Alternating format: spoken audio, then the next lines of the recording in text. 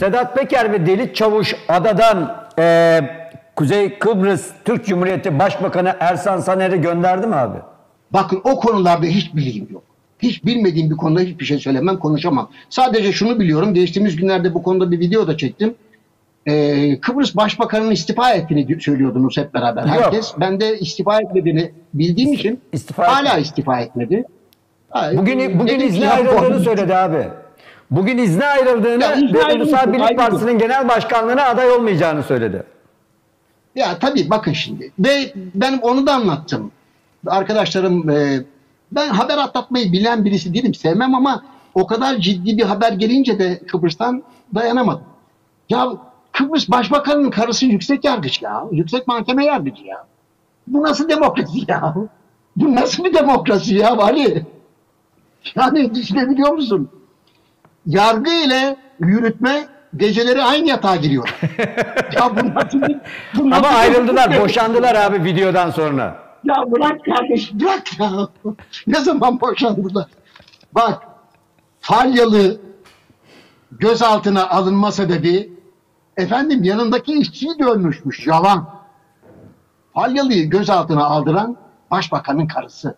Çünkü o video başbakanın karısına herkesten önce gitti. Yani bizler sizler o videoyu izlemeden önce başbakanın karısı yüksek hakim, yüksek yüksek yargıç bunu okudu, gördü, izledi. Bir cümle, ve bir cümle daha abi. Bir cümlese tek diyorsun ki e, başbakanın eşi yüksek yargıç o videoyu daha önce ulaştığı için Falyalı'yı gözaltına aldı, tutuklattı diyorsun. Ulaşmadı. Ona gönderildi video. Ulaşmadı. Video ona herkesten önce önce ona gönderildi.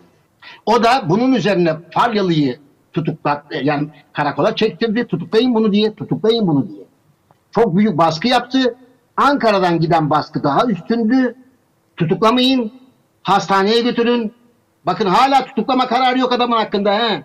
Aman dikkat.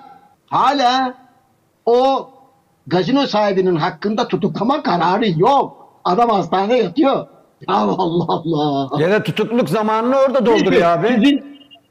He? Tutukluk zamanını orada dolduruyor. Ali bunlar benim konularım değil. Bunları konuşan çok güzel çocuklar. Hepsini çok seviyorum.